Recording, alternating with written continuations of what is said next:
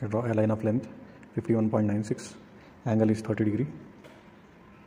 Again the length is 60 mm angle is 150 again length is 51.96 angle is 210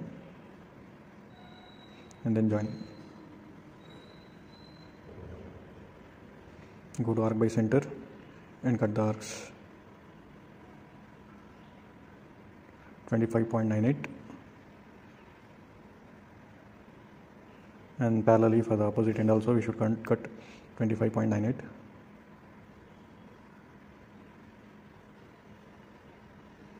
okay now in the opposite uh, we just uh, we should cut at exactly 15 mm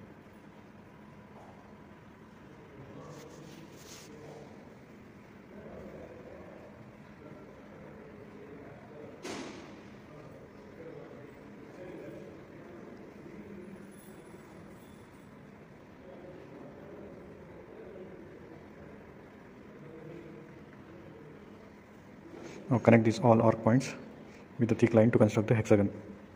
So zoom in.